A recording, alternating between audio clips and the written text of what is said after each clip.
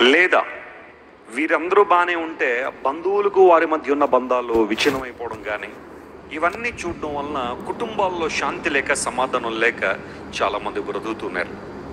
ఒకసారి ఒక ఆమె నా దగ్గరికి వచ్చి వెస్లీ గారు నా కోసం ప్రార్థన చేయండి.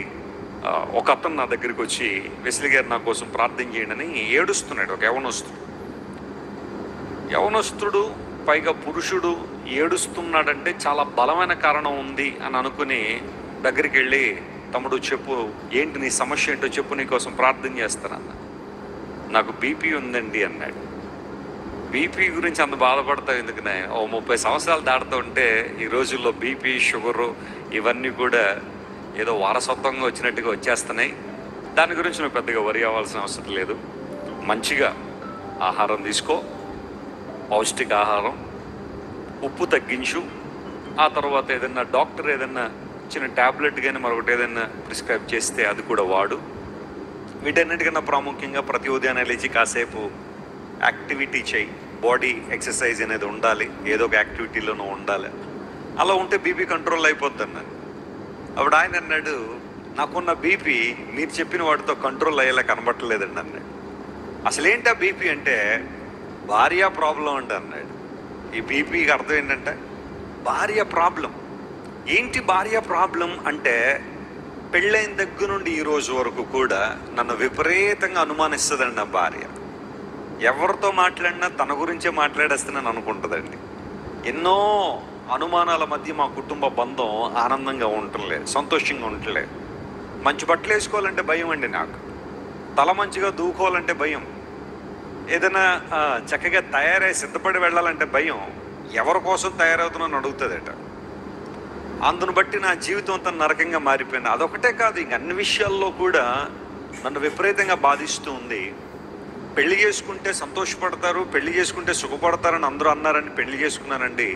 కానీ తీరా పెళ్ళైన తర్వాత ఆ సంతోషం సంగతి పక్కన పెట్టండి కానీ నా జీవితం అంతా నరకంగా మారిపోయిందని ఆ తమ్ముడు ఏడుస్తుంటే చాలా బాధ అనిపించింది. ఇది కొన్ని కుటుంబాల్లో జరగట్లేదా అంటే జరుగుతుంది.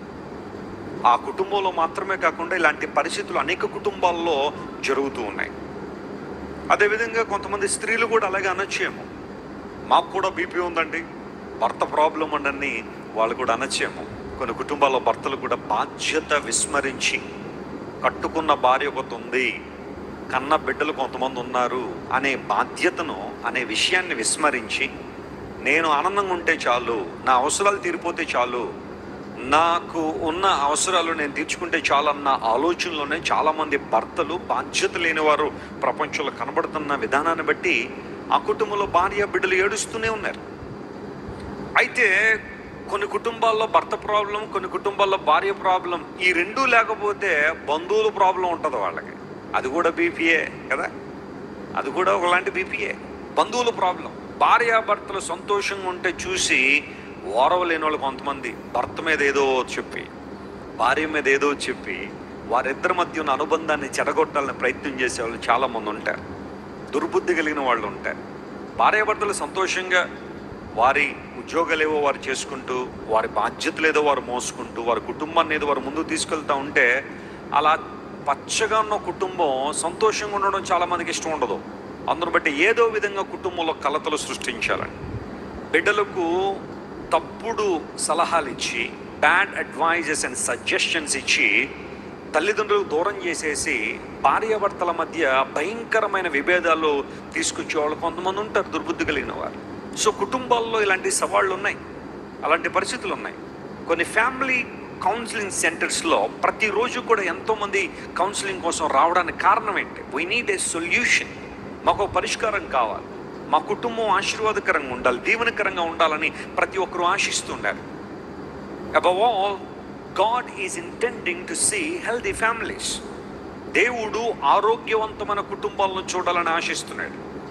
డిఎల్ మూడైన దేవుని సేవకుడు ఉన్న సందర్భంలో అంటాడు నేను మోడీ గారు రాసిన పుస్తకాలు ఆయన కొటేషన్స్ బాగా ఎక్కువ చదువుతుంటాను. కొంతమంది సెలెక్టెడ్ ప్రీచర్స్ మోడీ గారు కానీ స్పోర్ట్జిన్ గారు కానీ జాన్ బనియన్ కానీ జోనథన్ ఎడ్వర్డ్స్ కానీ జాన్ వెస్లీ కానీ ఇంకా చాలామంది దేవుని సేవకులు ఉన్నారు వారు రాసిన పుస్తకాలు చదువుతూ ఉంటారు. డిఎల్ మోడీ గారు ఒక సందర్భంలో ఏమంటారంటే family is the first institution established by God even before many institutions in the world many institutions in the Bible ప్రతి వ్యవస్థ కన్నా మొట్టమొదటిగా సృష్టించబడిన చేయబడిన వ్యవస్థ అంటూ ఏదైనా ఉందంటే అది కుటుంబ వ్యవస్థే. కదా? ఒక సంఘ వ్యవస్థ కన్నా లేకపోతే మిగతా వ్యవస్థల కన్నా అన్నిటికన్నా మొట్టమొదటిగా చేయబడింది కుటుంబ వ్యవస్థ. అందును బట్టి అపవాది యొక్క టార్గెట్ ఎప్పుడు కూడా కుటుంబాల